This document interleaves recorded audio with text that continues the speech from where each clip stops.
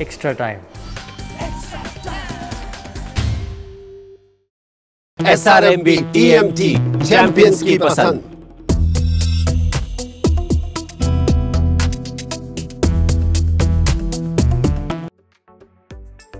শেষ পর্যন্ত Roy Krishna Hugo Boumous Johnny Kauko Tiri থেকে শুরু করে সন্দেশ জিঙ্গান সকলেই পা রাখতে পারেন মোহনবাগান তাঁবুতে সেটা কবে কলকাতার দল এটিকে মোহনবাগান মোহনবাগানের সঙ্গে যুক্ত হওয়ার পর কখনোই মোহনবাগান ফুটবলাররা পা রাখেননি মোহনবাগান তাঁবুতে। সমর্থকদের আফসোস।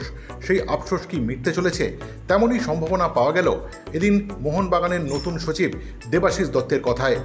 আসছে পয়লা বৈশাখ।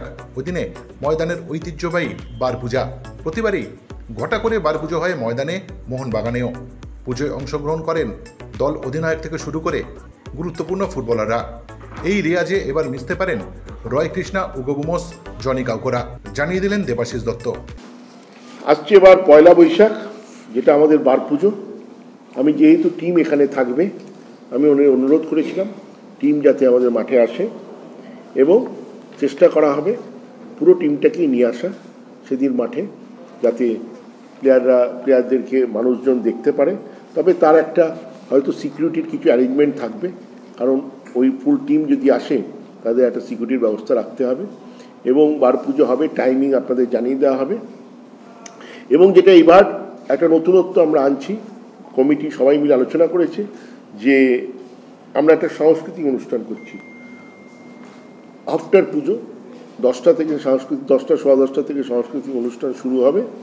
আমাদের সাংস্কৃতিক অনুষ্ঠানে আসছেন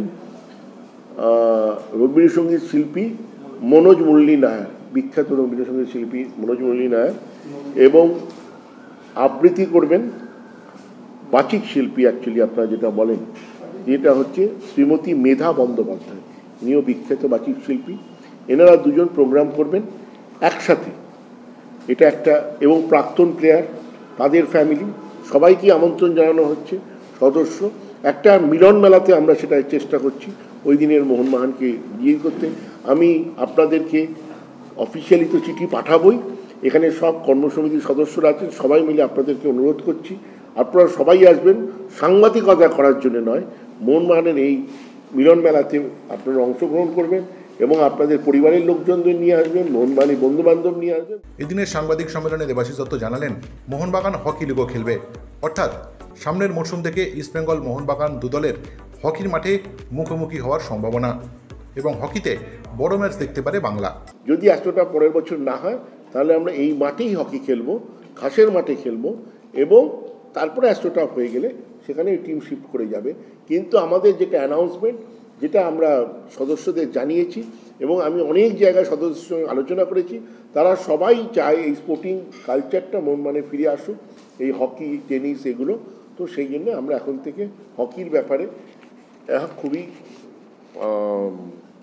সিরিয়াস লেটেস্ট নিউজ আর এক্সক্লুসিভ ভিডিওর সঙ্গে আপডেট থাকতে এখনই সাবস্ক্রাইব করুন আমাদের ইউটিউব চ্যানেল বেল আইকনে ক্লিক করতে ভুলবেন না জানো?